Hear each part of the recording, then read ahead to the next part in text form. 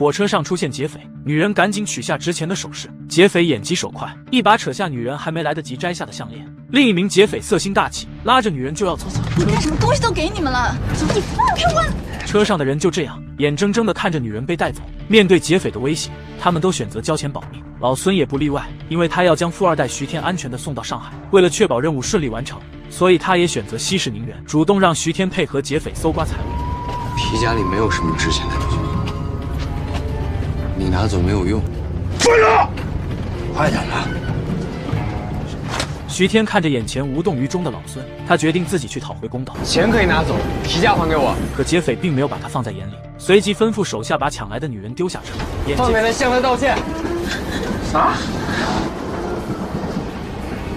土匪强盗也有原则，财物你们已经拿到了。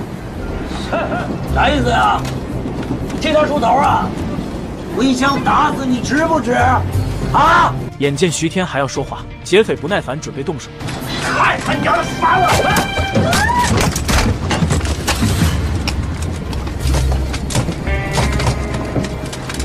凡事想想后果，并且表示自己受人之托保护徐天。那你也可以为他去死了。可以是可以。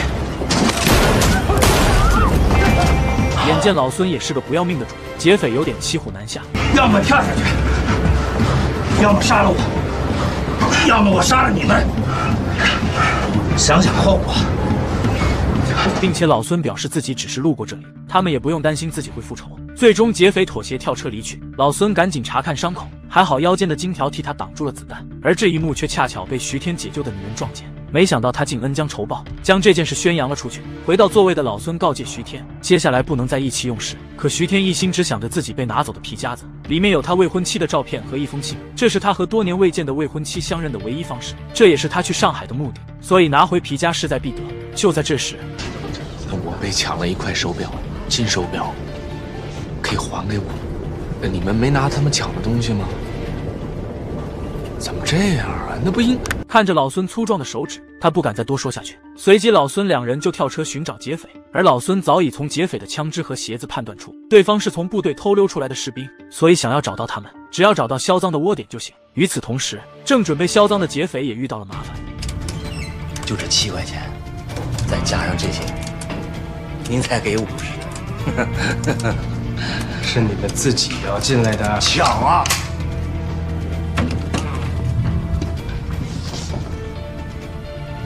没想到零元购遇到了强买强卖，一袋子的东西掌柜只给五十。两人听完想离开，东西放柜面上来去随意，进到柜台里就不能出去了。强买强卖了。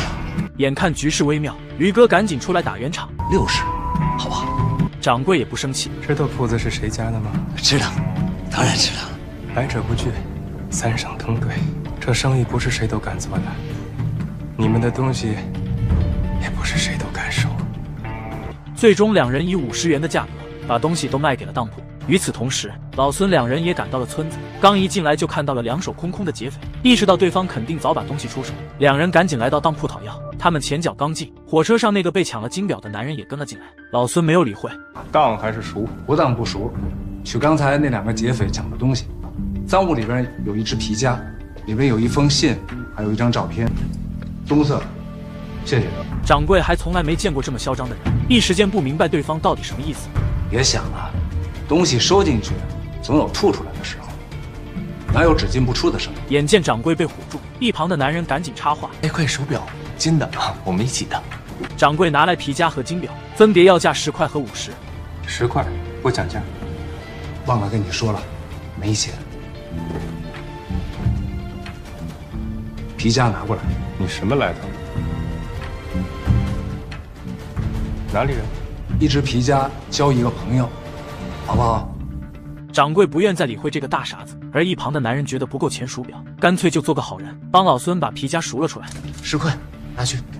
之后几人找了家药铺给老孙看伤，眼见一副药剂要收三块，老孙扭头就走。徐天赶紧出去阻拦，男人则趁机下药，随后表示自己十块都出了，再出三块也没什么。两人真以为遇到了大善人。老孙将中药一饮而尽，随后就到里屋检查伤口，没想到刚一躺下就昏了过去。大夫慌乱地指挥着徐天过来救人，而男人则趁乱将金条偷走，随后再次来到那家当铺。以五成的价格把金条当了出去。男人刚盖上手印，气不过的驴哥两人冲了回来，要求不高，要五百给五十打钱呀！我们才是打钱呀！奈何对方人多势众，驴哥倒在了枪火下。一旁的大壮见状，直接冲了出来。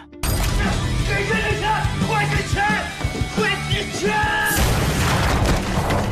随后赶到的老孙取出男人手上的当票，东西取走。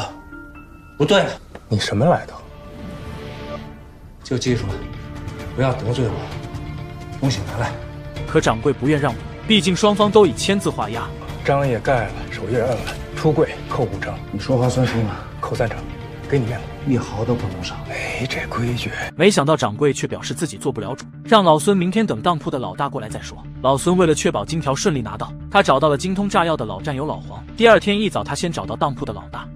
朋友，把东西留下再走。什么东西？通兑三根金条。啊，十两足金一根。这种小事，老大本不想理会。多个朋友多条路，少个冤家少堵墙。在这里还没有人敢和自己这么说话。三根金条，子弹划过，记好，原样还给我。大路朝天，各走一边。我要是不给呢？周围的小弟听到动静，全都赶了过来。你什么人啊？我姓孙，你贵姓？我姓吴。他们刨特打杂的做不了主，你不会也做不了主吧？老孙的这话显然刺激到了老大，因为闽西的本家姓吴，而老大姓吴，这一直是他心中的刺。一大早，你搞得我很不高兴。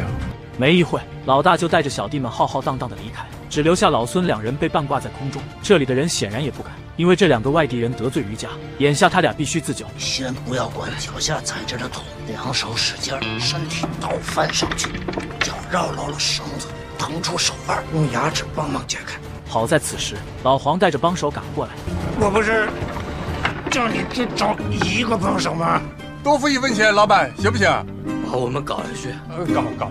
为了确保任务能完成，老孙要先了解老黄带来的两人是否可靠。老黄自称一个是和自己共过事的兄弟，一个是自家的远房亲戚。马天放，真名。老孙一把拉过马天放的手，看着对方手上的老茧，他知道这家伙肯定是个练家子。随后继续试探：敢打死我？我是来收钞票的，让你朝我脑袋上开一枪。来。看着对方一气呵成的动作和坚定的眼神，老孙同意他入股。先说能给多少钱吗？徐天想要对方先报价，那要看搞什么事情了。不用问，搞就是了。一人五块。老板少不少啊？不少。先付八块，后付，不搞拉倒。几人一拍即合，老孙开始说今天的计划。前面有一个当铺，做票号生意，黑店。天黑了，把他给抢了。不全抢了，我们不是强盗，到底是抢还是不抢啊？你们每个人只拿分内的，那是什么意思？三个人，每人八块，这么厚付啊？来都来了，搞有钱，不搞没钱。随后开始分配任务，马天放和老黄去当铺摸清保险柜的位置，丸子去当铺四周观察情况。天黑后，抢劫计划正式开始，先让老黄三人在当铺后面燃放炸弹。好了，走啊，躲起来啊！你呢？我没事。山药自家养的。而老孙则自己敲开当铺前门，干什么？取东西。天都黑了，黑店，黑天了。取三根金条。你脑子有病吧！不给就只好抢了。通知你一下。老孙掐住伙计脖子，一脚踹开柜台边门，丸子冲进来一顿搜刮。东西放在哪里？你们找死！谁让你开枪打人的？东西呢？东西在保险柜啊！与此同时，帮会成员听到动静赶了过来，一场火拼开始。唐局，保险柜搞开！再搞啊！开？开开，马上开了！交个报告，给压着干。眼见保险柜炸开，丸子赶紧过去抢钱。一人八三八二十四，不许断啊！老孙赶紧把金条藏好，可就在他们准备从后门逃走时，却发现已经被堵住。守在这里，抢到冒头就打。是。丸子从边上一个侧翻，轻松解决一个。马天放也跳上枪头压制住对面。我请的朋友啊，八块钱，吃吧。老孙想要扶起老黄一起走，啊，他他动不了，动不了。老黄的腿也在刚才不慎被炸断，老孙费力的将老黄拖上墙，蛮子也在上面搭把手。没想到蛮子见钱眼开，放弃了老黄，抢走了老孙手上的金条。眼见蛮子抢钱逃跑，马天放赶紧拦住他，蛮子反手就是一刀，随即逃离了这里。而老黄自知自己走不了，死定了。老孙，快走啊！王队，你要是不走的话，连你一起炸了！随手就把自己的钱袋交给了老孙。走啊！最后自己死死拉住两个敌人。多年老友因为自己死在眼前，老孙满是自责。可眼下局势容不得他悲伤。蛮子，往哪儿跑了？那边。为了追回被抢走的金条，老孙先让徐天去稳住胡蛮，而他则躲在暗处伺机而动。可他却不知道当铺老大吴达早已埋伏在此，并且已经制服了胡蛮。在老孙看到被五花大绑的胡蛮时，情急之下，他单枪匹马就要进屋寻找徐天。拼着重伤解决了两个守卫后，老大吴达走了出来。真不是一般人啊！徐天，徐天，不用喊，人绑起来了。眼下徐天被抓，自己也身受重伤，老孙只能服软。可以谈吗？不可以。可吴达却觉得老孙并没有和自己谈判的资格。你抢了我的铺子，先是你们明抢，道理讲不通，我才抢回来呀。朋友，还有挽回的余地。不要搞得自己大祸临头啊！老孙莫名的自信，让的吴达开始猜疑他的身份。兄弟，你谁的人呀？郭旅长，江西熊司令。不要猜了，猜到了，吓死你自己！武达也不甘示弱。我管你是谁的人啊！我找个荒郊野外把你埋了，谁也不知道。老孙继续激怒武达。铺子姓于，不是你的，人也不是。朋友，不是看不起啊！你身份就是看家护院的一条狗。金条还给我，人放了，我现在可以把你记在账上，以后想起来再收拾。老孙决定再添最后一把火。荒郊野岭的，现在没人知道，敢不敢喊一声？你吴达是闽西余姓的主子头人？不敢吧？本来就不是，装成是也没有用。看家护院的狗，就不要自作主张给主人添麻烦了。眼见吴达就要举枪射击，老孙立马推开挡箭牌逃离。气急的吴天当即追了过去，剩下的手下准备带着胡满和徐天一起返回据点。没想到胡蛮撞开竹门逃跑了，现在只剩下徐天一人被带回去。跑了一路的老孙早已精疲力尽，看见目的地就在眼前，他艰难地爬上自行车，朝着山下冲去。在力竭之前，赶到一个叫丹华楼的地方。老孙拼命的叫喊着房门，身后的武打也正在一步步靠近。好在此时门开了，老孙强自抑制住疲惫。你好，我找于一秀。眼见对方不理他，老孙只能自己走了进去。没想到寨子里完全与世隔绝，处处洋溢着生活的气息。老孙用最后的一丝气力大喊：“余兄，我找你说事情。”就在这时，武达走到他近前：“我找你主子说话。”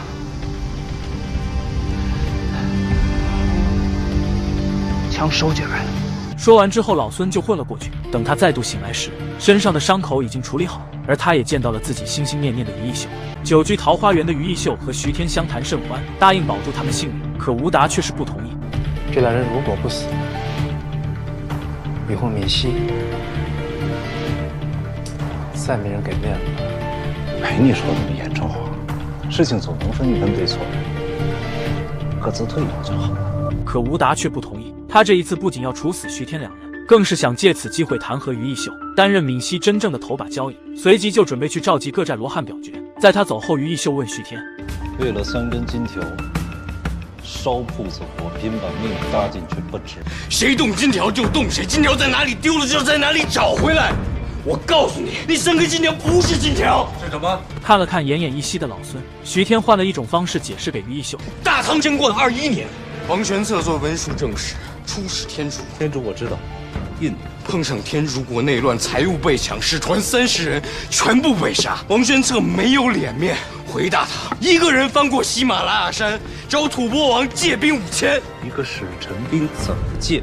就凭两句话，人从大唐来，兵至大唐借。喜马拉雅山翻回去，王玄策一个人灭掉天竺国，还兵吐蕃，千里走回长安复命。于一秀也被徐天的言论所打动。就在这时，罗汉齐聚，于一秀赶紧让三爷检查老孙伤情。眼下老孙伤情严重，三爷表示只有三个小时赶到三百里外的福州，找到西医做手术才有一线生机。徐天苦苦哀求于义秀开车将老孙送过去，可于义秀眼下有更重要的事。看着众人不紧不慢的投着票，担心老孙安危的徐天急得上蹿下跳，可众人对他的咆哮却是置若罔闻。什么面子不面子的人都要死，来不及了。并且此时票数已经过半，也就是说他和老孙今天都得死在这里。就在这时，三支箭剩两只，数三个数不出去，全部钉在于先生的脑袋上。眼见众人退去，老孙这才瘫软在椅子上，鲜血也已染红了地板。老孙将所有的罪责都揽在自己身上。这个是我炸的，你族人是我伤的，我不能活着把他的伤害了。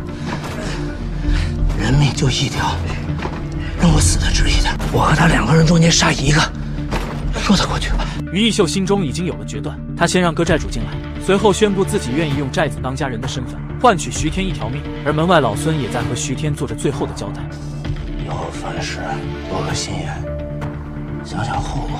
你心肠软，事少凶，以后狠一点。其实通过这段时间的相处，徐天热血天真的样子，让老孙想起了自己早已夭折的儿子。最后，老孙孤身走进屋子，为徐天换取那一丝生机。随着一声枪响，老孙已经倒在血泊中。有人说这是抗战版的《西游记》。作为唐僧徐天初代守护者的老孙，因为一句诺言，甚至不惜以生命为代价换取徐天安全，哪怕真的应验了他之前说的话，也无悔。路一步一步的走，死的时候还在这条路上就对了。为了让徐天可以顺利西行，死前更是托付于先生将金条送还给徐天。两人找到当铺索要金条，因为他们觉得吴达抓到胡蛮后会把金条送还当铺。可因为家族生意都是由吴达处理，掌柜根本不认识于一秀。看着对方递过来的挂盒，一块钱，你再看看，您走眼了，崇祯森林一关走，离现在三百多年的路程，一块。眼见掌柜不耐烦，于一秀说这是于家初带头人传下来的。掌柜一时间摸不清对方身份，嗯贵姓？免贵姓于，一秀。随后，于一秀拿出单据，想要取回金条。你要真是于先生，您就别为难我。手下人办事不规矩，企业会生气的，并且表示这里并没有金条。于义秀想要自己进去查看，可掌柜的却死活不让他进去。就在这时，一个自称郭副官的人走了进来，掌柜二话不说就开门放了人。于义秀也一脸疑惑的跟了进来，这里连自己这个当家人都进不来，他怎么可以如此随意的出入？并且进来之后，拿着钱箱大摇大摆的就走了出去。谁呀？就这么走了？拦下来呀！拿着钱呢！拦啊！眼见众人不为所动，还是徐天自己跟了出去，随后一把踹下郭副官手上的钱箱，两人瞬间扭打在一起。眼见徐天落入下风，于义秀手下过来一脚踹晕了郭副官。醒来后的郭副官也不管一旁的两人，直接开着车离开了这里。而柜台里的于义秀看着当铺里的账本，拿出祖传的玉佩，这下掌柜的才真正相信了于义秀的身份。您是于先生啊？于义秀并没有理会他，拿起当铺的账本和地契就离开了这里，随后召集了所有村民。要不是走出书房。还不知余姓以为虎作伥，行万里路啊，十里见北道啊。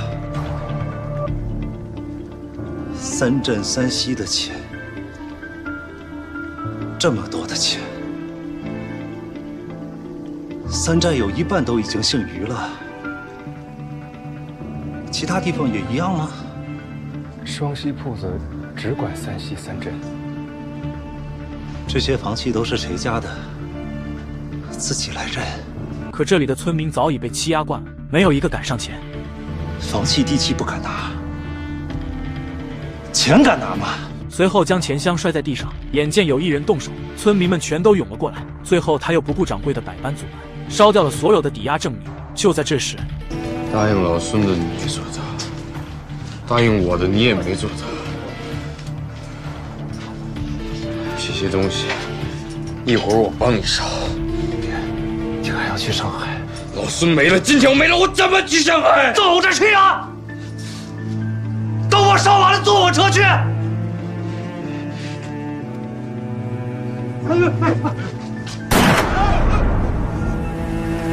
这是军阀最喜欢玩的游戏。他将巴豆放在徐天脑袋上，这头巴豆掉出，来，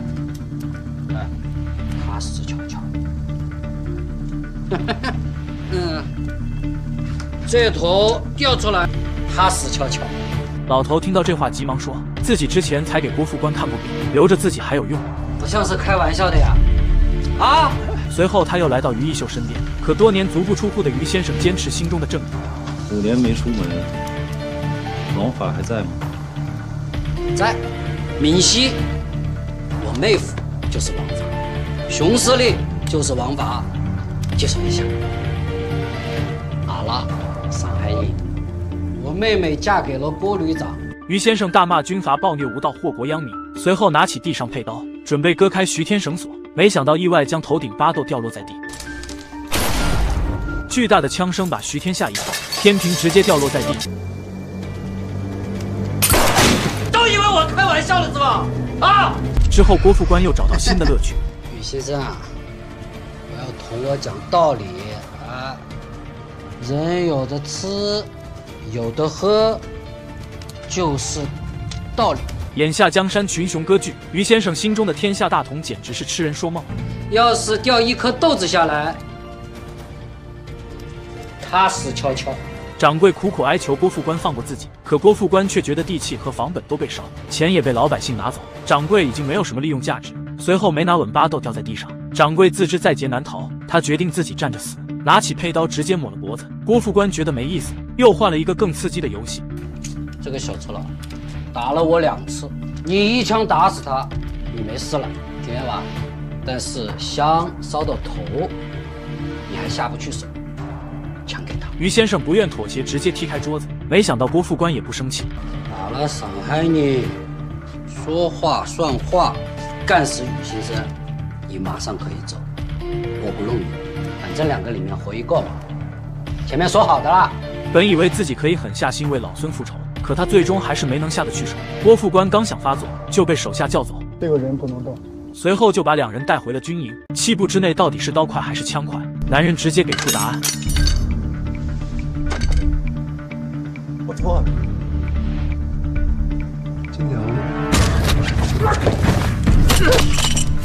哎，饶命！我告诉你，金条老子输光了，下次再见着你，都给我来一个啊！哎，没必要。出完恶气的胡蛮刚想离开，就被军阀拦住。原来马天放是国民政府的人，他把胡蛮吊在树上询问金条下落，可胡蛮一口咬定金条被自己输光。马天放一把推开胡蛮，任由子弹在胡蛮眼前来回穿梭。最终胡蛮顶不住压力，说出金条被于七爷拿走。很快七爷就被带了过来。七爷是吧？啊，金条在哪儿？哪位？双溪当铺劫走那三根，上面是子弹划痕。你怎么知道？劫的时候我在，我看见了。你看见了？胡蛮说你拿走了。熊司令，郭旅长那边每个月警文收送过去的金条，医院要多少？区区三根金条，你太他妈瞧不起我了！看到七爷的表现，马天放相信金条不在他手中，可三根金条不会凭空消失。于是他们来到七爷之前抓获胡蛮的地方，果然在这里找到了胡蛮事先藏好的金条。放回去。为什么？等南阳仔徐天自己来拿。本来马天放想一路尾随徐天到上海，顺藤摸瓜找到共党接金条的人，眼下这一切都被七爷破坏，他必须想办法让徐天顺利拿到金条。于是他来到胡蛮身边报了摔头之仇，之后把胡蛮带到了牢房，让他把金条的消息告诉徐天。果然没多久，徐天就被郭副官带了过来。紧接着两人再配合演了一出戏，顺利的将金条的消息传递给了徐天。没多久，几个军人要带走于先生，他以为自己要被处死。徐天，可惜了，还不如死在你手里。此生幸会，来生再见了。可没想到他并没有被枪毙，而是被带到了七爷这里。以后我是三寨头人，只有我可以保三寨平安回来。可于先生却对此嗤之以鼻。我是个没用的人，你是条无脑的狗，人当然比狗了不起。随后在合族人道别后就想离开，可七爷却是拦住了他。从我的两脚之间爬过去。武打想通过这样的方式宣泄之前于先生骂他是狗的愤怒，他要践踏先前仰望的头人，宣示自己的主权。可于先生却表现得很从容，腿分开，再分开一点。于先生就这样在别人不敢置信的眼神中爬了过去。吴达并没有得到想象中的喜悦，他现在还是那条狗，只不过是换了一个主人罢了。反观于先生，此刻的他没有屈辱，尊严和性命都已无所谓，他已放下了过去的一切，终于可以自由的在这天地间翱翔。他大步的朝门外走去，和旧时代画上了句号。他回到了监狱，他想要带徐天一起去上海。这时徐天刚好被带去执行枪决，而这一切都是马天放的计谋。他要趁此机会放走徐天，可胡蛮却是一眼看出了马天放的想法。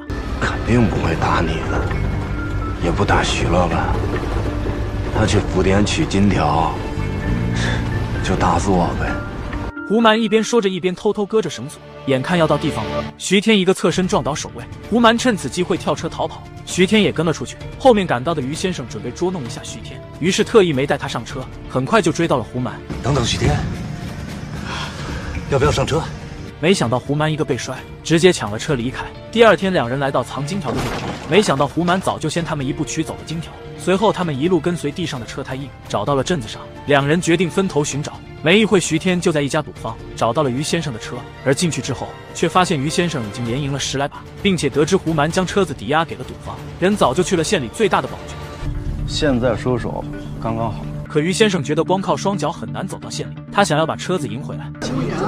这些加上我的一条命，赌外边我的那辆车。于先生这次是赢了，可赌坊老板怎么会这么轻易就让他离开？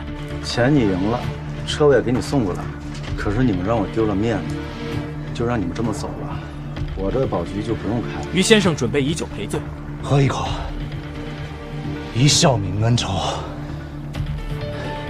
这酒里有毒。我下了，没想到于先生却是丝毫不怂，拿起剩下的半壶酒就喝了下去，随后就晕倒在地。眼见老板要走，徐天逼问解药下落，一根手指头倒不容易。老板也被徐天这架势唬住，说出了解药的配方。徐天不顾手上的剧痛，背着于先生就去寻找解药。他是闽西最大帮派的当家人，为了一句承诺，也为了追寻心中的梦想，毅然决然地离开多年未出的家门，拿过老孙的接力棒，带着徐天踏上了北上之路。在路上，他尝到了三月最鲜美的荠菜馅馄饨。见识到了他们家族为虎作伥，将附近村落的钱财搜刮了大半，献给军阀。他仗义疏财，不愿家族再蒙受这恶名。有冤不敢伸，有怒不敢言，他们就是用这种方法来运作这个世道的。你们越是怕，他们就越能为所欲为。他想以一己之力改变这个早已腐朽的世界。来拿呀，拿呀！可面对那些手拿刀枪棍棒的军阀，他也只是任人宰割的羔羊。侥幸逃过一劫后，面对下属的挑衅。从我的两脚之间爬过去。下属想通过这样的方式宣泄之前于先生骂他是狗的愤怒，他要践踏先前仰望的头人，登上自己的王座。可于先生却表现得很从容，腿分开，再分开一点。于先生就这样在别人不敢置信的眼神中爬了过去。吴达并没有得到想象中的喜悦，他现在还是那条狗，只不过是换了一个主人罢了。反观于先生，此刻的他没有屈辱，他已放下了尊严，放下了过去的一切，终于可以自由的在这天地间翱翔。他大步的朝门外走去。和旧时代画上了句号。自此之后，他活明白了。之前感觉自己四十一年全都白活了。人生两件事情最难放下：尊严和性命。如果尊严可以不要了，那性命也就拿得起放得下。苟且偷生也可以转身赴死也无妨。此刻他心中所念只有帮助徐天找回金条，一路追踪偷了金条的赌徒胡蛮来到赌场。可他一个文弱书生，怎么会是胡蛮的对手？就算被打倒在地，他也死死抓住胡蛮衣角。金条还是要给的。随后就被胡蛮一脚踹晕。胡蛮走后，他看着水中里狼狈的自己，他本是受众人敬仰的于先生，现在却发现自己什么都做不了。他必须要帮徐天找回金条。他和徐天做了最后的道别。死不是正好吗？为什么要切手指？你应承的，还没做。那个老板要你的命，给不给？不给。我还有重要的事。对，要保重啊。今后不可以为别人再做这样的事。做完道别，他毅然决然地坐上了赌桌。他要从胡满手中将金条赢回来，甚至用自己祖传的挂盒兑换筹码。于先生，庄家偷吃偷赔，你盯牢我干啥？从双溪到福田，从闽西到这里，拿走三根金条的人是你，我不盯你，我盯谁？你会不会躲？开！他和胡蛮鱼死网破，筹码全部输光。血性上头的胡蛮要拿命赌。我打两枪，不死，换你一块大的。赌场老板也不是被吓大的，直接连开两枪，随后把枪递给胡蛮。朝自己脑袋开一枪，我这四块大麻都是你的。胡蛮还是没能战胜心中恐惧。于先生拿过桌上手枪，我和你也赌一赌命。算了吧，命可比钱重要。做人不知足，上一脚在天堂，下一脚可就是十八层地狱。从前活在地狱，以为天堂，现在就算去了天堂，跟地狱也差不多。他给弹夹又添上一颗子弹。原来先生是不想活了呀？想，想是想的，但是应承过别人了，要拿回三根金条交给徐天。现在是两手空空，活着没道理。喝下最后一口上路酒，千万里，醉梦一场。随后毅然扣动了扳机。徐天在埋葬了于一秀之后，接过赌坊老板递来的金条，独自坐上火车前往上海。这一次，他不再是那个青涩懵懂的少年，面对陌生人的搭讪，他时刻保持警惕。笑什么笑？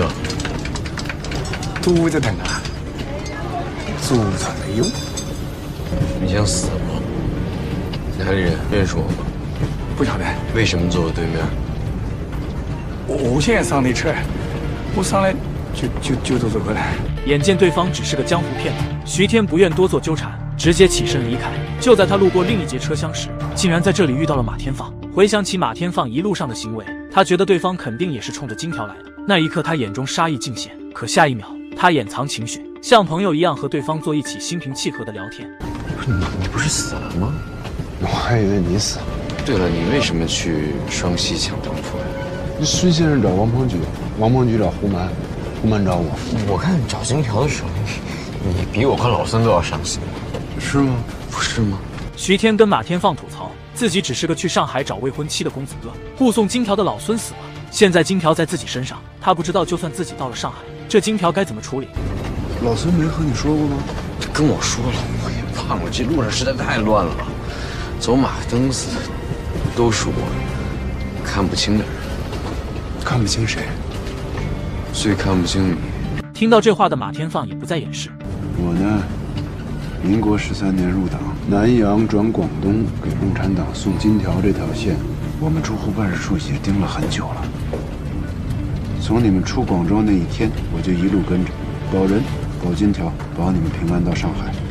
不过你们不是目标，共产党接金条的人才是目标。现在马天放自己跳了狼，接下来的路徐天必须要带着自己一起。只要他能帮助自己引出共产党接头人，这一切也就彻底结束了。得知真相的徐天掏出手枪，弄死你，万事大吉。可在他开枪之前，就被马天放的保镖一把按住。虽然他成功击毙了保镖，但他的肩膀也挨了一枪。随后他准备射杀马天放，却发现枪里没了子弹。他赶紧捡起保镖手枪，马天放掉头就跑。面对车厢里嘈杂的人群，徐天不敢贸然开枪。很快，马天放跑到列车头，拉下手刹，在惯性的驱使下，徐天险些从车上掉了下去。他拼命拉着铁索，这才逃过一劫。火车停下来后，身受重伤的徐天昏迷。马天放赶到他身边，何必呢？怎么死啊？你到底在？随后就把徐天送到了当地的卫生所。一个长得很像法师的警长给马天放介绍了当地最有名的医生张医生。怎么样了？眼见张医生不说话，警长继续说道：“有时候他也以为自己是个人物呢。不过他老婆是真漂亮，就是他老婆不总来这儿，我也不方便总去他家。”马天放不愿听废话，直接询问警长张医生的情况。保定二期工兵科的，打过北伐，杀过人，以前的事儿了，现在死了。马天放还是不放心。弄好了，事情不大，一刻钟麻药劲儿过了，都可以走了。你叫什么？张嘉译。之后来到徐天身边，看到金条还在，这才放下心来。马天放警告张嘉译不要把徐天的事说出去。哪有人？此地不就是你二位在喝酒吗？你是谁我也不认得。喝酒吗？喝完了，擦干净，就什么都没了。苦等了十几，熬死了两个影帝，张译终于来了。这一次他不是瘸子，也不是警察，而是成了十里八乡最有名的医生，并且这一次他圆了北爱市小猛的梦想，和丫丫饰演的刀美凤结了婚。可在哪里都少不了觊觎丫丫美色的男人。小镇的警长就是其中一个，他总是想尽办法去张医生家里喝酒，只为能多看美凤两眼。老张哪会不知道这家伙的花花肠子，直接以家里刚生小孩不方便为由拒绝。警长真想喝酒的话，他可以做好饭菜端过来。就在这时，马天放发现徐天竟然不见了，他立马带着警长四处寻找。原来徐天趁他们聊天时混进草料车逃走了。离开警局后，徐天跳下马车，可他因为伤势过重，晕倒在河里，就这样被顺水冲走。与此同时，下游的两个村因为饮水问题发生矛盾，眼看一场大战在所难免，刀美兰突然出现制止了冲突。村上的人都受过张医生的恩惠，所以大家对刀美兰一家都很尊敬。今儿我把话放这儿啊，从今天起，不管是东堂还是西堂，哪怕是把脑浆子打出来了，我们家也不管。就在这时，徐天顺着溪流被冲了过来。村民通过徐天伤口的包扎方式，确定这是张医生的病人。傍晚，张医生和往常一样下班回家，贤惠的妻子早已做好饭菜，孩子也甜甜的进入梦乡。直到他发现了桌子上的金条，还有地上躺着的人，他知道自己平静的生活将被打破。妻子告诉他，徐天是村民们在河里发现抬到了家里。眼见张医生不说话，妻子意识到自己可能做错了事。我是不是不应该让他们把他骗回来啊？张医生赶紧宽慰妻子，事情没多大。哪有见死不救的道理？可妻子一听就知道这肯定有问题。到底有多大？他婉转地告诉妻子，徐天可能是共产党，眼下警长正在四处找他。为了不给家里添麻烦，必须尽快把徐天送走。随后，张医生把徐天安顿在谷仓里，给他留下了一些退烧药品和食物，就准备离开。没行吗？共产党吗？总要帮，但是我也就只能帮到这里了。理不理解也我理解。真理解，我现在只想过太平日子，老婆儿子安安稳稳才是大事。革命就是为了让大家安安稳稳过太平日子，这是目标。张医生没有说话，转身离去。这一路上碰到的人，转头就都不见了。一心只想过太平日子的张嘉译，只要将徐天交出，他就可以继续和老婆孩子平淡的生活下去。可他心中的良知还在，他知道什么才是正义。过去我有一些要好的朋友是共产党，但我什么都不是。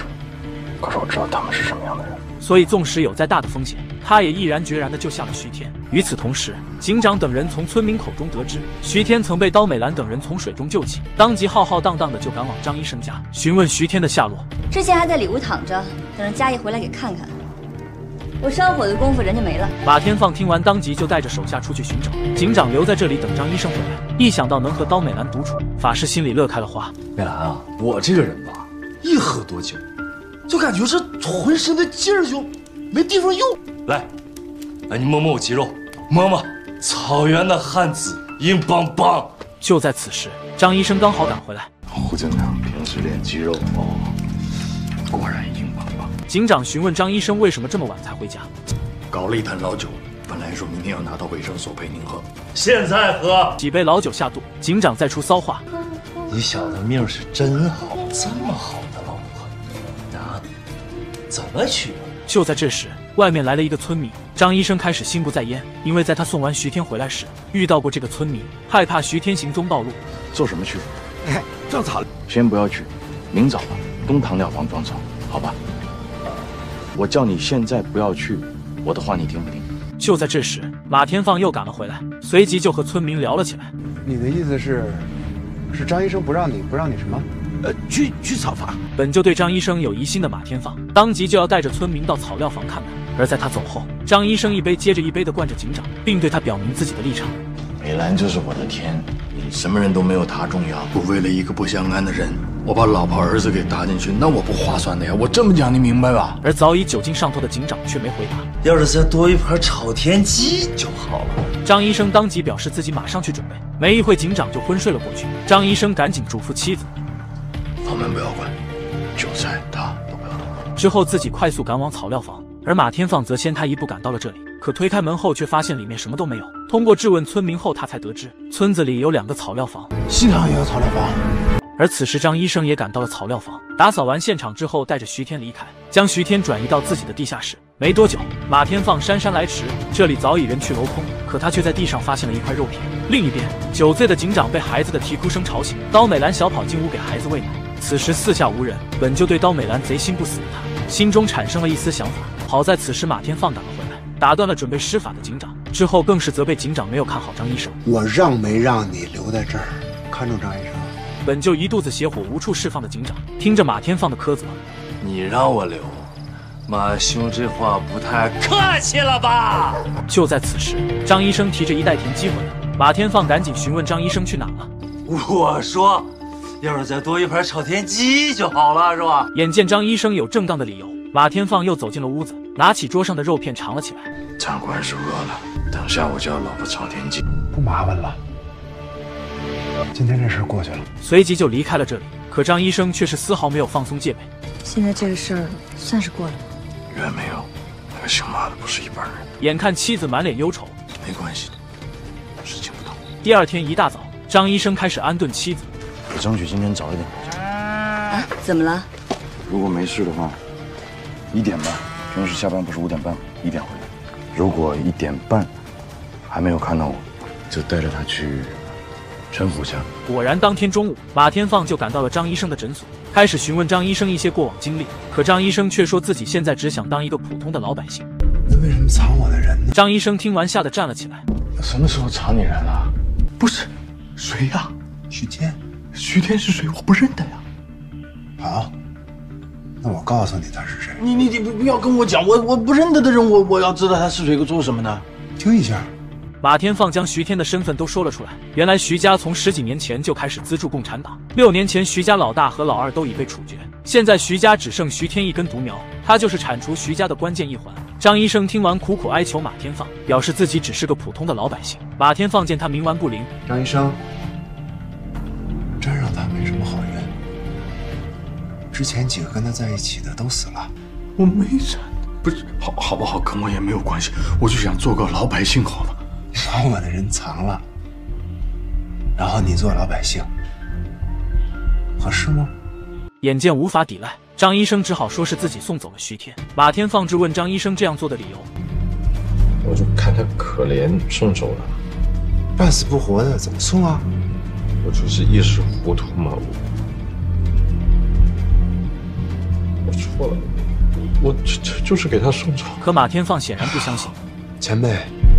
大家都是明白人，你这样就没意思了吧？那长官，那您给我讲讲，怎么样才才算有意思？与此同时，被藏在地窖的徐天却在这里发现了张医生的秘密。人不给我，不弄你。你家在这儿，有老婆有孩子，一起弄。听到这话的张医生脸色一沉，何必难为人？还没开始呢。抚摸着妻子亲手给自己做的饭菜，张医生再次放低姿态。我求你也不行，迎接他的却只是马天放的嘲笑。本来光棍一条多好，偏偏要娶妻生儿子。张医生只能无奈的叹气，随后起身拦住马天放。这件事情我已经伸了手，你们就翻不过去了。只有一个办法，什么办法？我弄死。马天放直接挥拳打过去，可却发现自己不是对手。他拿起饭盒直接丢了过去，看着老婆做的饭菜散落一地，张医生彻底怒了，直接一拳又一拳的打在他脸上，随后将他拖到了地下室。徐天一看到他就怒火中烧，直接举枪射击，没想到枪法太差，这么近都没打中。哎，跟你讲，把枪放下。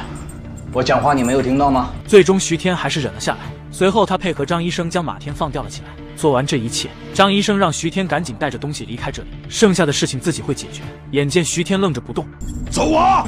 把门带上。在徐天走后，张医生取出手术刀，我老婆刀，破坏皮肤的心脏。你千不该万不该，说要弄我老婆儿子。随后，张医生拿来一个盆。你怕冷吗？嗯。血液流出来的时候会有点冷，流到后面就没有知觉了，会很快。马天放拼命挣扎，不要乱动。你搞得一地都是血，我擦起来会很麻烦。就在这危机时刻，你听我说，弄死我你老婆也得死，胡乱知道我来维生所。听到这话的张医生冷静下来，门外的徐天也走了进来。安逸日子过久了，考虑问题不周全。徐天觉得马天放说的不是实话，我从来都是说实话。情急之下，马天放将所有事情都讲了出来。我走的时候跟胡兰说，我来卫生所找你，还有你。找不到怎么办？对呀，找不到呢。我让胡兰去找你老婆了。胡兰对你老婆有意思，晓得吧？之后，张医生让徐天守住卫生所，不要让任何人进来，他自己要先去确认妻子安全。张医生一路马不停蹄的赶回家，刚到家就碰到了过来寻找妻子的呼兰。好在妻子听了自己的话去了陈虎家，可呼兰却觉得张医生这个点赶回家有点奇怪。马天放让我回家里边带你老婆，他自己先去卫生所啊？没看见吗？得知老婆安全的张医生想要蒙混过关，转身离开，却被呼兰让手下拦住。张嘉译，你果然有问题呀！就在此时，去陈虎家的妻子因为忘带去别人家的礼物，又折返了回来。妻子知道丈夫肯定遇到了麻烦，在将礼物递给陈虎后，她返回丈夫身边。事情大吗？本来不大，现在有点麻烦。妻子非但没有责怪，反而宽慰他。没事的，我本来就是跟着你，从北到南，这就够了呀。你看，现在还有儿子呢。张医生再一次求饶，求求你，通融一下，放我们一家人一条活路好不好？我要带着老婆儿子远走高飞，这样你也好交代。呼兰不理解，家不要了，老婆儿子在哪里，哪里就是家嘛。可呼兰还是觉得放他们走，自己不好交代。张医生也不想给他添麻烦，直接一把火点燃了房子。相恋相亲这么多年，你没少在我们家吃肉，没少在我们家喝酒，怎么就不能给几分薄面？现在人走，家没了，我们一家三口一辈子不回西塘，这样是不是讲得过去？他本是一个海外归来的贵公子，为了护送金条和见心爱的未婚妻，一路辗转从南阳赶往上海。开始他只是个不谙世事的公子哥，直到他见证了以生命为自己践行的老孙，为了帮自己夺回金条毅然赴死的于义秀，他也就此坚定了心中的信念。干革命，就是为了让普通人过上平等、安稳的日子，这是我们的终极目的。普通人为了自己的未来革命，要挟普通人的普通生活，做祸国殃民的事情，你们才是没有人性的匪徒。面对外面重重包围的机动队，他没有退缩，心中只有自己答应张医生不让任何人进卫生所的承诺。他在每扇窗子下都放一把枪，随后向外面胡乱开枪，制造屋子里有很多人的假象。南阳从小到大都像一场梦，从遇到老孙开始梦醒，现在彻底醒了。现实原来这么痛快，如果杨芷和我在一起就更好了，让他看到我现在的样子，就算死在这里，一辈子也没有遗憾。连番的射击让的本就没好的伤口不断往外渗血，屋外的人眼见屋内没了火力，赶紧吩咐手下疯狂射击。稍作休息后的徐天再次投入战斗，他已经做好了死在这里的准备。上海肯定是去不成了，我在浙江没有熟人，全中国也没有熟人，死在这里没有一个人知。就在机动队准备冲进去时，张医生竟然赶了回来。原来几分钟前，呼兰警长看着为了不连累自己，不惜烧毁自己房子的张医生，他还是没能狠下心，放了两人一条生路。可张医生在安顿好妻子后，转头就准备回去救徐天。机动队不顾张医生阻拦，闯了进去。没想到里面的徐天竟然用马天放当盾牌，威胁机动队不要轻举妄动。我是马天放，别开枪！张医生也趁此机会进了卫生所。看到他的那一刻，徐天仿佛吃下一颗定心丸。张医生让机动队先出去，自己留下来和马天放谈判。你说出去就出去啊？出去！出去吗？滚蛋！马党官都是出公差的，放尊重点。你他妈滚蛋！你张医生让徐天接下来都听自己的安排。他让徐天去十六路坐船，从水路去县城，再坐火车赶往上海，而自己留下来和机动队谈判。你不能死。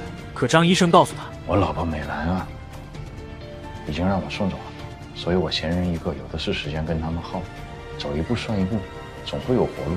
就在这时，徐天想到了一个主意，用马天放当做盾牌，去外面开机动队的车走。为了以防万一，张医生拿出珍藏的盔甲，和徐天全副武装，因为他要马天放当做盾牌，去外面开机动队的车走。就在这时，忽然警长赶过来劝架：“张嘉一，这样有意思吗？啊，我担多大事儿，你回来干嘛？小伙子，枪放下！张医生好容易把你救活，马天放死了，你们俩都得死。对，胡兰，你哪那么多废话呀？你跟谁说话呢？现在所有的事情都因马天放而起，外面的机动队也只是听命行事。只要马天放死了，那他们所有人都不会有事。机动队在外边，怎么弄？怎么弄？我们冲出去，你开车找个没人地方，把马天放杀了，我和张医生走。个小屁孩我和你们一起，还用我开车？老胡啊，你叫我啥？老胡，帮人帮到底吗？我吃政府饭的，乡里乡亲有个限度。但是，我老婆不是你放的吗？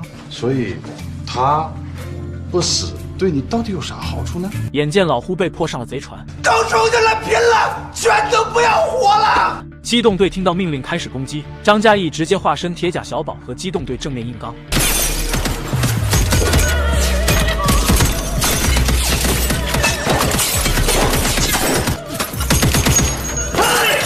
我还在这儿呢，这是双塔。现在呼兰也只能和他们一条道走到黑。随后，徐天压着马天放慢慢走出房间，要挟机动队交出车辆。马长官，车是公家的，你放屁！我人也是公家的。随后，一行人就准备离开。就在这时，本应离开的刀美兰竟然又折返了回来。老婆，把桶拿下来。就这样，呼兰载着马天放和两个手下，还有张嘉译夫妇和徐天离开了这里。在路上，张嘉译在确认徐天身上的盔甲的位置后，一边将金条装在身上，一边对车上的警察说：“两个兄弟，我们都是自家人，乡里乡亲的也会给我几分薄面。”之后把枪递给警察，抱拳表示感谢。最后来到马天放身边，取下头套，解开绳索。他恳求马天放可以饶了自己和妻子。至于徐天，他不会再管。马天放开始宣泄自己的怒气：“给，枪给你，打死我，再打死他们俩，再打死胡兰。小子，再瞪我一枪打死！”随后，他拍车示意呼兰停车，可呼兰却被刀美兰不惧危难，也要和张嘉译在一起的情感所感动。我怎么娶不到你这样的女人？新政就能娶得到。怎么样算新政？做好人。你们夫妻俩把我害惨了，真想这车就一直开下去。拍拍拍，公家车拍坏了，你叫来的人差点把我打死。马家放，这里是双塔。你要抓人，我帮你抓。你弄机动队来机关枪扫是什么意思？我像狗一样在卫生所里边躲子弹，你了不起？以后我在双塘还有没有威信？马天放以为拿着枪就掌控了全局，他指挥呼兰把张嘉译夫妇带到县城受审，徐天跟自己去上海。张嘉译恳求马天放放过妻子，他愿意抗下所有罪责。是赤匪，赤匪作乱，求一下就完了。那要我干什么？就是个医生嘛，不是共产党。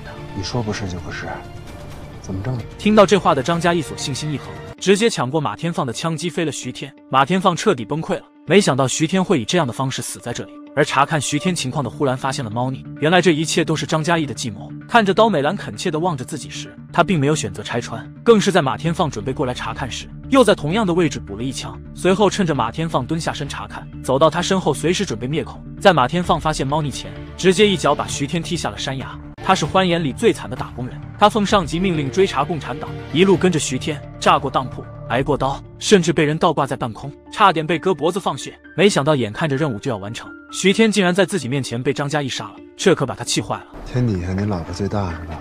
他当着宠妻狂魔张嘉译的面，直接给了他老婆两巴掌。虽然此刻心中怒意滔天，但是张嘉译忍下了，因为他还得顾及徐天。天黑后，他返回原地，把山下的徐天带了回去，在刀美兰的帮助下，帮徐天处理了伤口。后半夜，徐天醒了过来，刀美兰陪他聊天。你那照片上是你老婆吧？哎，她长得挺好看，但是看这面相，她脾气应该挺厉害的，而且心机有点重。张嘉译也在此时醒了，得知了两人聊的话题之后，他提醒徐天：信后面这个落款，还有照片后面这个日期，不是一个人写的，不可能，都是杨志写的。哎呀，字迹骗不了人，做不了假的。随后，夫妻二人起身跟徐天道别。我们走了，我们是不是不会再见了？世事本该如此，好好养着啊，保重。随后，两人坐上提前准备好的牛车离开。眼下，徐天的事情过去了，可打在妻子脸上的巴掌过不去。这记巴掌要抽在我脸上也就过去了，抽在你脸上，事情就大了。另一边，苦逼打工人马天放孤身回上海复命，因为常年在外面出外勤，门口的保安根本不认识他。经过搜身才让他进门，刚一进来，却发现这里没一个人和自己打招呼。随后他又来到领导办公室，做啥？您的屋啊？我们能做啥？马天放也不愿和他废话，直接敲响了房门。在看到领导不在后，他将一肚子的怨气都发泄在秘书身上。那那意思啊？老顾不在啊？不在叫我来汇报啊？跟我汇报呀？翠萍，我做外勤出生入死，你们在上海安逸自在。我回来还要搜身，外边一个认识我的人没有，站里边打情骂俏、喝茶看报、聊天混日子。我要是死在外边呢，是不是也白死了？我等级比你高，直接喊我名字不礼貌的。可秘书听完却是不以为意，随手拿出镜子补妆。马天放决定明天再来找领导汇报。秘书告诉他，明天领导也不在。徐天死了，线断了。还有呢？我从广东到福建到江西，炸当铺、坐牢、跳火车，双手绑着被人从汽车一脚踢下去，腿上一刀，头上好几个大包。在浙江被人倒吊起来，差点当场割喉放血。放下来之后，当人肉盾牌挡子弹，枪里打出来的子弹像冰雹一样从我身边擦过去。晓得了？你讲了，我总归晓得了。你见过子弹？冰雹你都没见过！马天放的怒吼把秘书吓了一跳，他淡定地拿出手枪。你们外勤回来啊，总归脾气都不大好。但是线断了，是不是你的责任？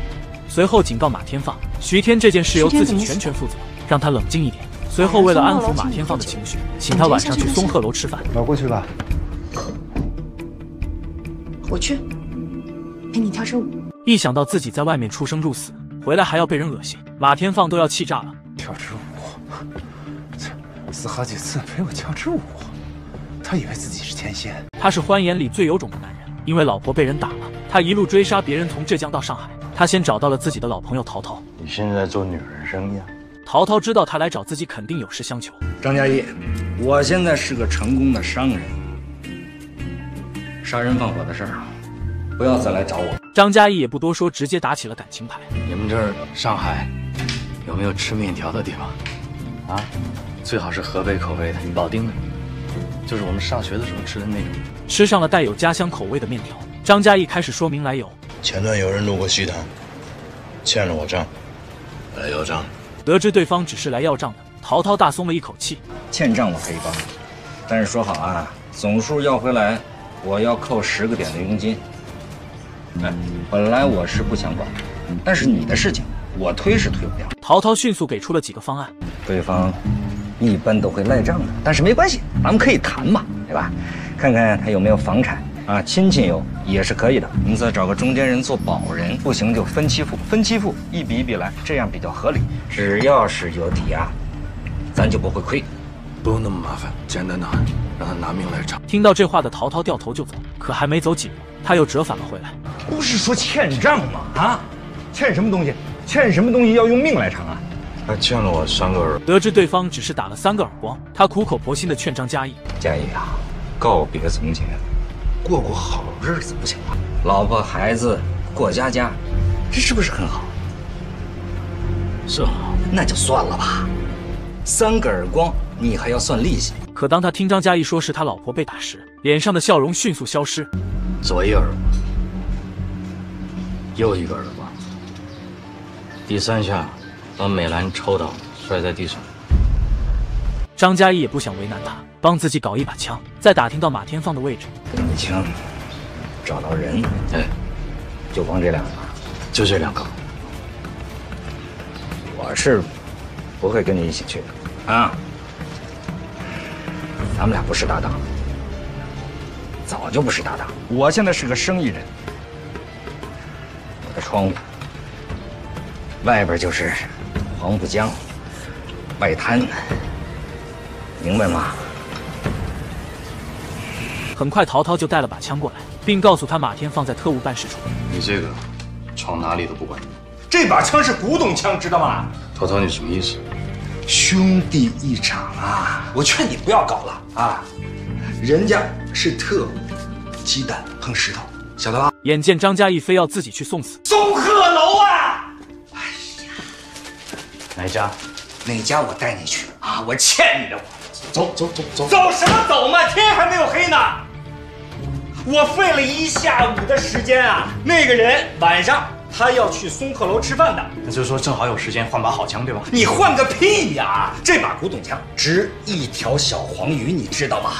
晚上拿出来给人家送礼，给你当和事佬，替你去要债。当天晚上，他们借着送礼的名义接近了马天放的领导崔股长。怎么可能呢？啊，利夫先生手底下怎么会有这么漂亮的股长呢？这位先生是？我给严先生管事。幸会，幸会。随后，陶陶拿出精心准备的古董枪，过去都是红颜配宝刀，现在是美女配宝枪。眼见崔股长收了东西，陶陶赶紧说明来意。张先生呢，和您的一个手下叫马天放一些过节。崔股长当即表示自己可以解决。马天芳就在隔壁，闲话一句。有没有想过你的网恋对象是个照片？徐天怎么都不会想到，心心念念的未婚妻竟然是国民党特务假冒的。他一路风尘仆仆赶到上海，没想到刚到这里就被当地的小开骗了。刚来上海，来寻仇还是挣钱？你想怎样？做生意嘛。寻仇卖你点趁手家伙，找钱给你引几条门路。走开！男人看着徐天的手上，断定他肯定是来寻仇的。一块钱一把，价格都一样。白送你几招招式。随后，徐天来到老孙之前嘱咐的旅店住下。当得知这里最大的房间一块钱可以住一个月时，他才意识到自己被骗了。第二天，他找到未婚妻家，这一次他学聪明了，并没有直接敲门进去，而是绕到了后门。车夫看着徐天递来的一块银元，表示自己到边上的银行破开了找给他。他坐在车边等待车夫。就在这时，他的未婚妻竟然走了过来。看啥？拉车走啊！就这样，他被当成了车夫，拉着女人在街上乱跑。你叫什么名字？贾若兰。直到这一刻，他才明白之前为什么张嘉译会说照片和信件上字迹不一样。原来眼前的杨芷是假的。一年前，杨芷一家被国民党围捕，杨芷父母当场被杀。他们发现杨芷一直和徐天有信件往来，决定放长线钓大鱼，找人顶替杨芷，继续和徐天通信。杨芷就此变成抄写信件的工具。而在一次次信件交流中，贾若兰慢慢爱上了徐天。在当他得知徐天死讯后，悲痛欲绝，于是就出现了他坐在徐天的车上散心的一幕。得知真相的徐天并没有爆发，他想要从贾若兰身上寻找到杨芷的线索。当天晚上，他一路跟踪贾若兰来到了松鹤楼，可他衣着朴素又没预约，被门童拒之门外。他来到后门，假装搬运工混了进去。随后，他假装房客来到楼上，因为老婆被人打了，他一路追杀别人，从浙江到上海。他找到当地有权势的朋友，借着送礼的名义接近了马天放的领导崔股长。收了礼的崔股长逼迫马天放来给张嘉译道歉。是你呀！跪下，磕头。陶陶劝张嘉译冷静一点，只要不杀人，什么要求都可以。张医生什么来头啊？利夫先生知道吧？来头够不够啊？马天放乖乖磕头。就在这时，假装房客的徐天引起了特务的怀疑。好在张嘉译及时赶到，救了徐天。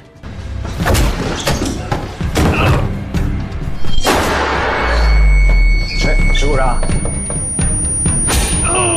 你来这儿做啥？什么？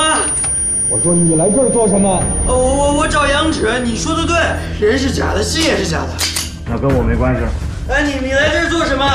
我杀马天放啊！啊，那和我没关系。听到动静的马天放赶了过来，张嘉译抬手就是一枪。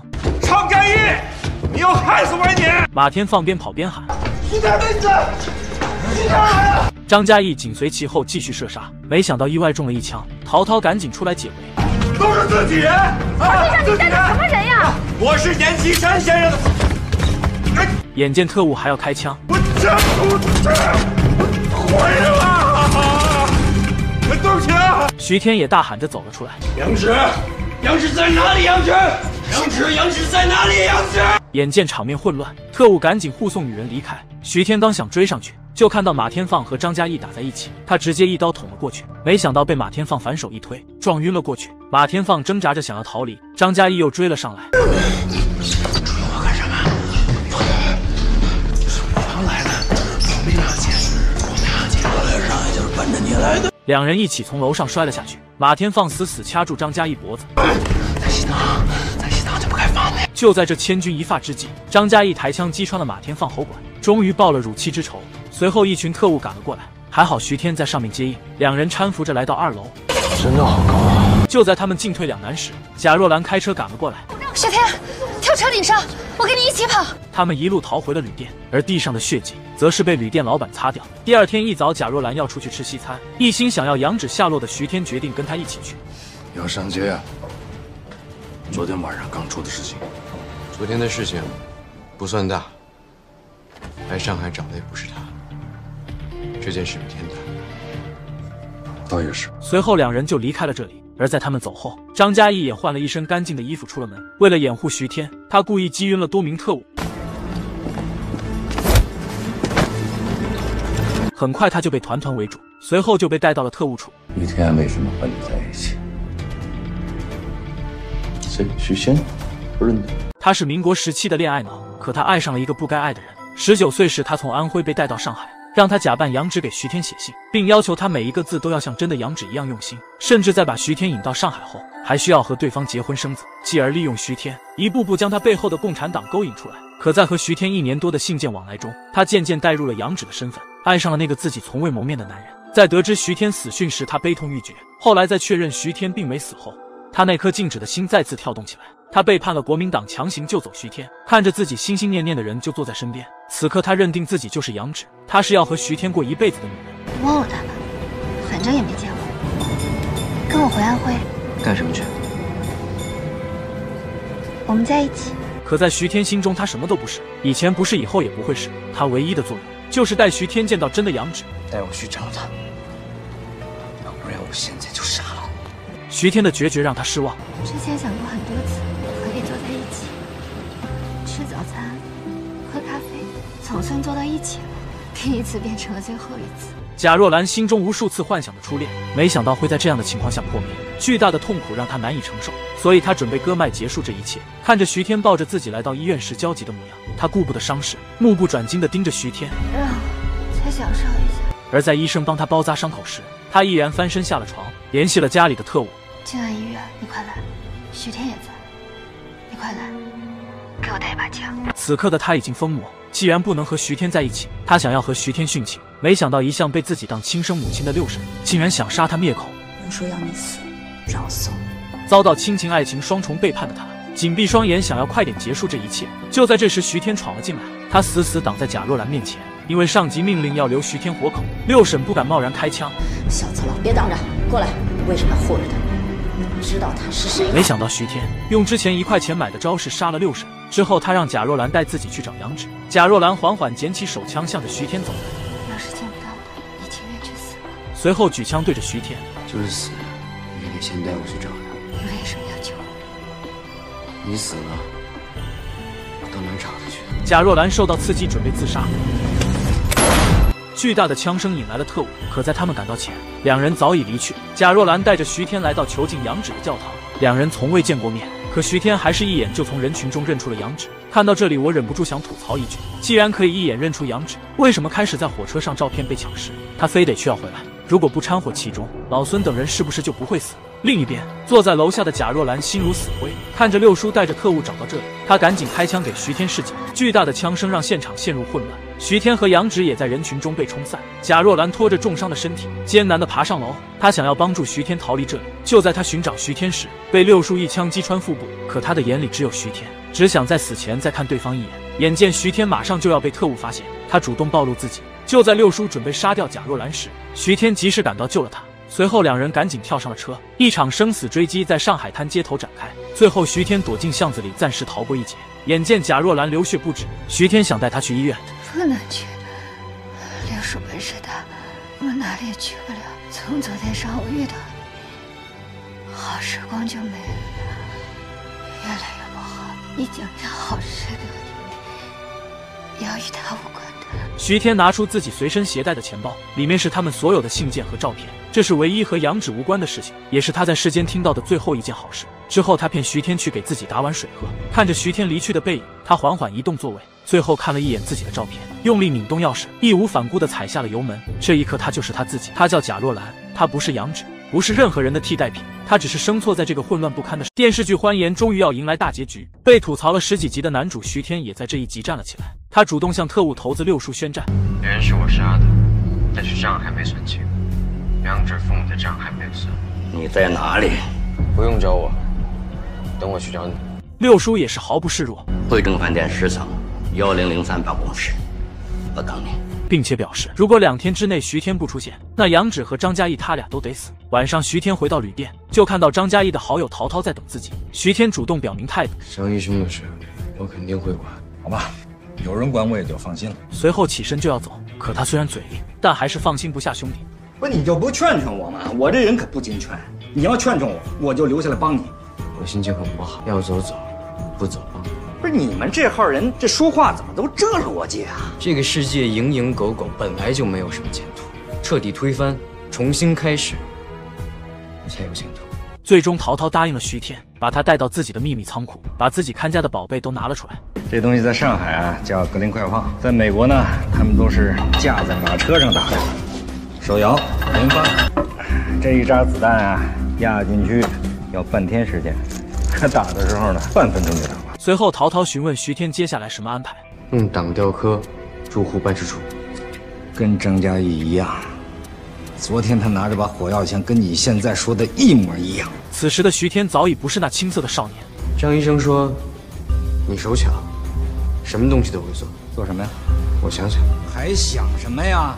想想后果，心里就会有数。”第二天，两人找到了崔股长，当着屋里几人的面做了三个定时炸弹，其中一颗更是直接放进崔股长的包里。包拿好，别离我太远，并且用绳子连接在手上。随后，他就带着炸弹前往崔股长的办公室，而留下来的陶涛则是吩咐崔股长的表弟，让他把信送到杨芷手里，在确认杨芷安全后，让杨芷打电话到崔股长的办公室。十分钟之内，你表姐办公桌上的电话要是不响的话。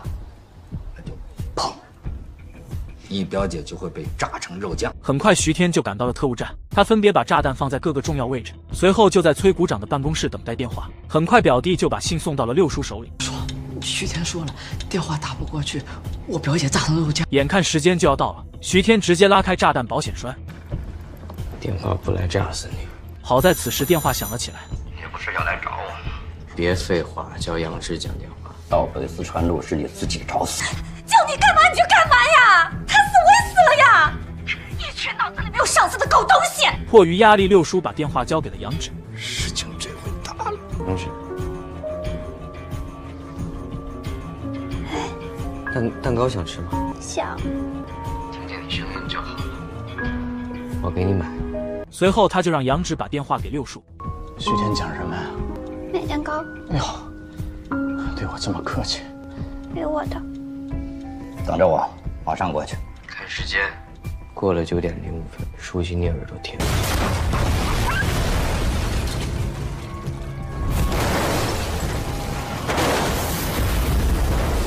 听到了吗？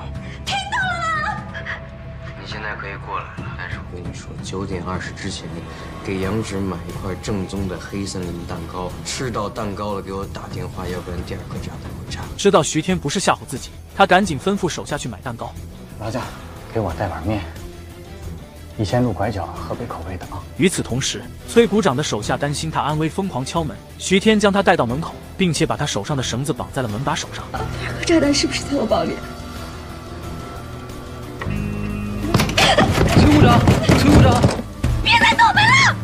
徐天为了救出被六叔抓住的张嘉译和杨芷，他决定背水一战，约六叔在特务站见面。为了以防万一，他提前安排陶涛在对面楼架起加特林，随时待命。很快，六叔就赶到了这里。面对来势汹汹的六叔，徐天却是毫不在意。就在这时，第二颗炸弹被引爆。还有炸弹吗？有啊。徐天威胁六叔赶紧放人，不然第三颗炸弹三分钟之内就会爆炸。六叔只能被迫放了人，但他也让手下在后面尾随。还有炸弹，在。徐天缓缓举起手中炸弹。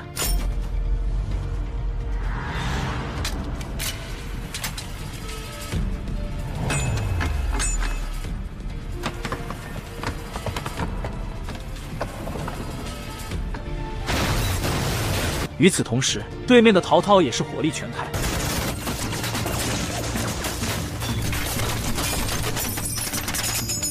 徐天也趁此机会迅速撤离，没想到不慎将和共产党接头的半块象棋掉落。六叔刚想追上去，就被陶涛的第二轮炮火劝退。别激动，激动容易卡。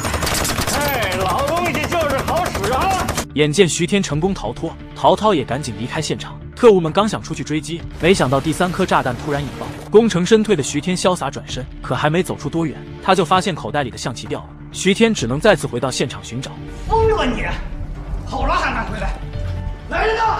徐天在这儿！你轻松解决掉特务后，他淡定的捡起象棋，转身离去。可没想到，崔股长突然出现。侬个的小特，本事大到天上去了，现在还有话讲吗？徐天拼命反抗，可对方人数众多，他被死死按在地上。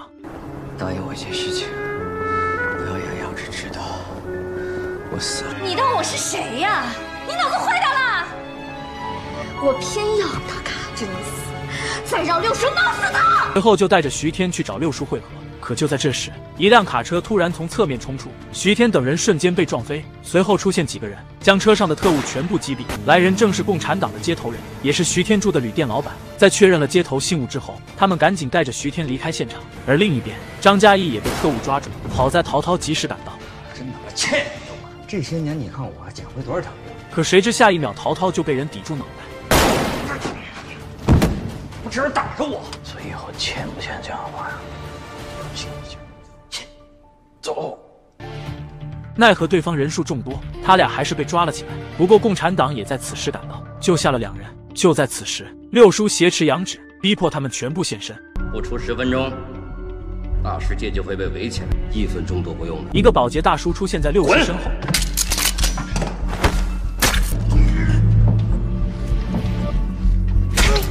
六叔怎么都不会想到自己会死在一个保洁手里。解决完六叔后，他们没有第一时间离开，因为此时外面正有大批特务冲进来，对这里进行地毯式的搜索。可特务怎么都不会想到，张嘉译等人会躲在衣柜后面的夹层。出去以后要不要跟我走？跟你走？嗯，你我梅兰，嗯，三个人那成什么？四个。嗯，还有谁啊？那你跟我儿子一起养就好了。而另一边，杨芷倚靠在徐天背上。别动，让我再享受一会儿。尽管白天这里死了那么多人，但对于整个上海滩来说都不算什么大事。那些生生死死并不会打扰这里的醉生梦死。等到一切平静之后，几人趁机从后门撤离。徐天的送金条之路顺利结束，紧握着杨芷的手，一路紧绷的神经得以放松。他提出想和张嘉译和陶涛和张毅。而在拍照时，徐天在中间又加了三张椅子。至于这空着的三个位置，你觉得会是谁？